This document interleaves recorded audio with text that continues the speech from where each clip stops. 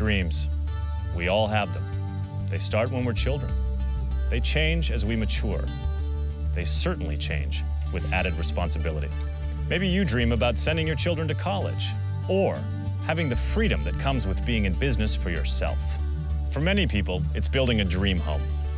Most people see this as just a field of grass, but people with vision see it as their backyard. Imagine this is your great room with a two story stone fireplace.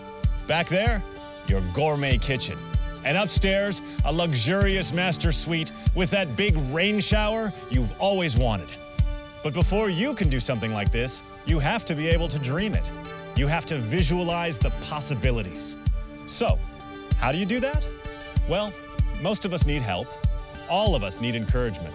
But most importantly, we need the right vehicle to help make our dreams come true. Primerica is a movement. It helps people financially when they're so fed up with all the big corporations, all the banks, everyone taking advantage of the middle market. We're the only company that stands up for them. It's also a movement in terms of career. Today, what used to work doesn't work anymore. We go to school, but we don't get good jobs, and you end up back where you used to work with a degree that cost a bunch of money and did very little for you. When I joined Primerica, I was a plumber and I taught a karate school. And I think a lot of people view who they are as what they do for a living. And a lot of people say to me, well, you know, you don't look like a plumber. Well, I was a plumber when I joined, but I'm not a plumber anymore. And you don't